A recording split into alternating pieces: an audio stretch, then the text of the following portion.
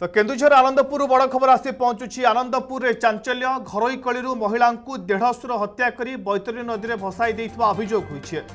ଅମାରଙ୍ଗ ଘାଟରୁ ମହିଳାଙ୍କ ଅଧା ମୃତଦେହ ଉଦ୍ଧାର ଦେଢ଼ଶୁର ଫେରାର। ବଡ଼ ଖବର ଆସି ପହଞ୍ଚୁଛି କେନ୍ଦୁଝରରୁ। କେନ୍ଦୁଝର ଆନନ୍ଦପୁରରେ ଚାଞ୍ଚଲ୍ୟ ଘରୋଇ କଳିରୁ ମହିଳାଙ୍କୁ ଦେଢ଼ଶୁର ହତ୍ୟା କରି ବୈତରଣୀ ନଦୀରେ ଭସାଇ ଦେଇଥିବାର ଅଭିଯୋଗ ହୋଇଛି। ଅମାରଙ୍ଗ ଘାଟରୁ ମହିଳାଙ୍କ ଅଧା ମୃତଦେହ ହୋଇଛି ଉଦ୍ଧାର। ଦେଢ଼ଶୁର ଫେରାର ହୋଇଥିବା ସୂଚନା ଆସି ପହଞ୍ଚୁଛି। ସତ୍ୟଜିତ ସାହୁ ଆମ ପ୍ରତିନିଧି ଫୋନ୍ ଲାଇନ୍ ଅଛନ୍ତି। ସତ୍ୟଜିତ ପୁରା ଘଟଣା କ'ଣ?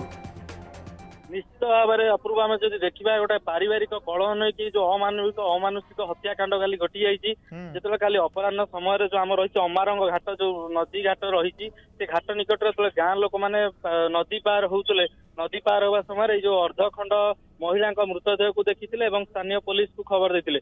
ପୋଲିସ ଘଟଣାସ୍ଥଳରେ ପହଞ୍ଚିବା ପରେ ସତ୍ୟାସତ୍ୟ ଜଣା ପଡିଥିଲା ଯେ ରହିଛନ୍ତି ମୃତ ମହିଳା ଯିଏ ରହୁଛନ୍ତି ଆମର ଅମାରଙ୍ଗ ଗାଁର ଅମାରଙ୍ଗ ଗାଁରେ ତାଙ୍କ ଯୋଉ ଦେଢୁଶୁର ରହିଛନ୍ତି ସେ ତାଙ୍କ ଯୋଉ ଇଏ ବିଧବା ମହିଳା ଥିଲେ ତାଙ୍କ ସ୍ୱାମୀ ସ୍ୱାମୀ ମହିଳା ଥିଲେ ତାଙ୍କ ଦେଢୁଶୁର ଯିଏ ରହୁଛନ୍ତି ଶତ୍ରୁଘ୍ନ ନାୟକ ମଦ ପିଇବା ପରେ ପାରିବାରିକ କଳହକୁ ନେଇ ଉଭୟଙ୍କ ମଧ୍ୟରେ ବଚସା ହୋଇଥିଲା।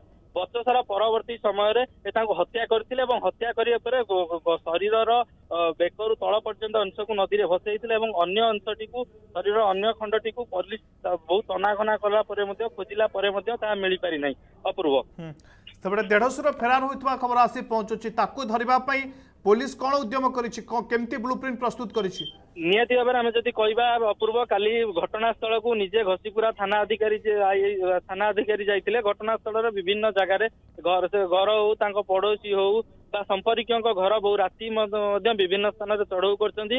ବର୍ତ୍ତମାନ ସୁଦ୍ଧା ଅଭିଯୁକ୍ତ ମୁଖ୍ୟ ଅଭିଯୁକ୍ତ ଯିଏ ଅଛନ୍ତି ଦେଢୁଶୁର ଶତ୍ରୁଘ୍ନ ନାୟକ ସେ ଫେରାର ଥିବା ପୋଲିସ ପକ୍ଷରୁ ସୂଚନା ଅଛି। ଅପୂର୍ବ। କେବ- କେବଳ ଘରୋଇ କଳିକୁ ନେଇ ଏଭଳି ହତ୍ୟାକାଣ୍ଡ ହୋଇଛି ନା ଆଉ କିଛି କାରଣ ଥାଇପାରେ ବୋଲି ଲୋକ ଆଲୋଚନା କରୁଛନ୍ତି ଅନୁମାନ କରାଯାଉଛି?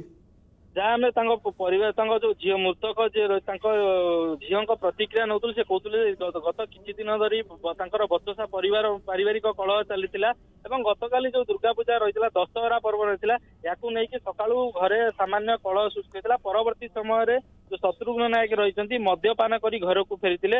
ଘରକୁ ଘରକୁ ଫେରିବା ପରେ ପୁଣି ଯୁକ୍ତି- ଝଗଡା ହେଇଥିଲା।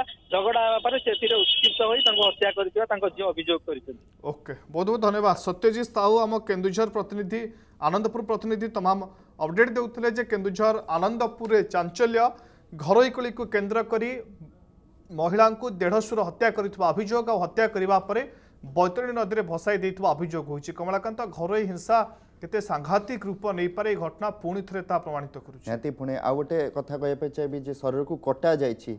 ମୃତ୍ୟୁ ତ ନିହାତି ଭାବରେ ବଡ଼ ଅପରାଧ ତା ସହିତ ଶରୀରକୁ କଟା ଯାଇକି ମଧ୍ୟ ପକାଯାଇଛି ଏବଂ ଆଉ ଗୋଟେ କଥା ଯେଉଁ କହୁଥିଲେ ଯେ ମଦ ପିଇବା ପରେ ସେ ହିତାହିତ ଜ୍ଞାନ ଭୁଲିଥିଲେ ଏବଂ ହତ୍ୟା କରିଥିବା ଯାହା ଅଭିଯୋଗ ଆସୁଛି ବର୍ତ୍ତମାନର ତଦନ୍ତ ଯାହା କହୁଛି।